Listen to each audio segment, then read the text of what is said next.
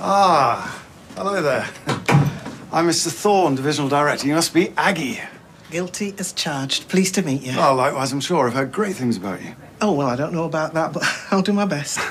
Well, I just, uh, I just wanted to thank you for joining our team. We're very grateful to have you. Well, I'm really looking forward to getting started. Everyone's been very welcoming. Good. Although we're, we're not going to be colleagues for much longer. I'm, uh, yeah, I'm due to retire soon. I know, I know. I don't look a day over 40. um, so, look, I, I trust someone's shown you where everything is. Yes, thanks. No, I'm fully up to speed. Good. All right, when you got a minute, check out the coffee machine in the break room. Uh, I brought it in from home. It's one of those all singing, all dancing bean to cup numbers. Oh, Peter Cup, very nice. Yeah, got a penchant for Peruvian at the moment.